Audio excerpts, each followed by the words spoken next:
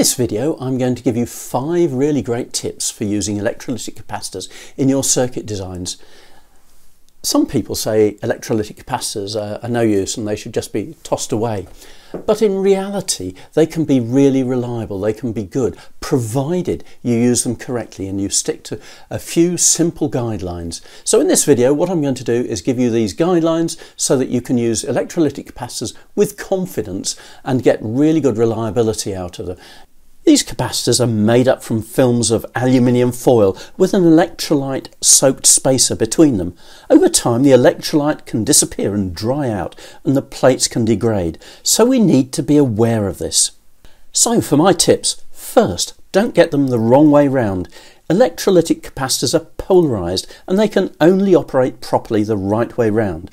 Put them in a circuit the wrong way round and the leakage current rises and at best this will impair their performance and sometimes they can be destroyed, even exploding.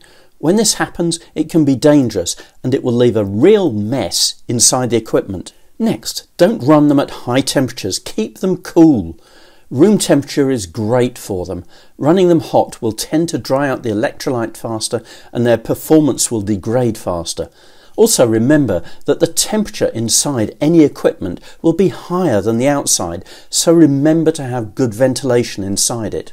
Then, don't exceed the operating voltage. Electrolytic capacitors, like any other capacitor, don't like the maximum operating voltage being exceeded. This is often written on the outside, on the can of the capacitor, and also it'll be in the datasheet, so stick well within this. Remember the ripple current. Capacitors used in power supplies often have to provide large peaks of current, and many are designed to do just this, but they have a maximum current. If this is exceeded, then it can lead to damage and a rise in temperature, which is not good. For many larger electrolytic capacitors, the maximum ripple current is marked on the outside of the case. Finally, electrolytics are not good as the frequency rises. They use an electrolytic action, and this limits their frequency response.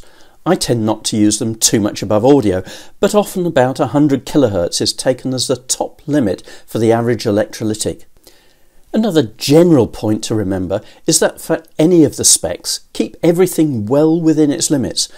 I like to make sure that they run at a maximum of say about 60 or 70% of the rated values or possibly even lower.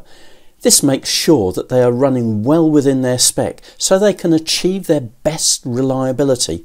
So that's our quick summary about electrolytic capacitors and I really hope it's been useful. Please don't forget to watch more of our videos and also for more information check the description area and then please don't forget to like the video and subscribe to our channel. Thank you very much.